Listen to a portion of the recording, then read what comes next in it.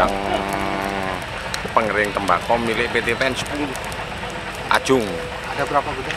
Eh, sekitar 4 unit gudang pengering. Ini tadi kesulitan pemadaman apa? Eh, kita kesulitan kebakaran karena sudah api besar. Awalnya kita mi- lokasi milik posko Ambulu.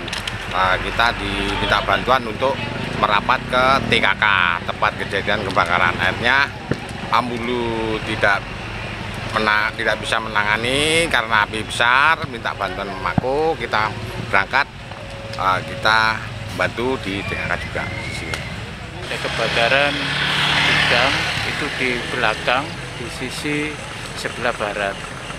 Karena angin pada saat itu kencang akhirnya merambat ke gudang 1, 2, 3 sampai ke sampai yang keempat. Nah, yang di keempat ini kemudian api bisa dipadamkan dengan kehadiran pemadam kebakaran. Untuk sebab-sebab kebakaran kita masih akan datangkan lapor untuk Eh, penyebabnya karena apa? Untuk seme- sementara masih kita nunggu dari lapor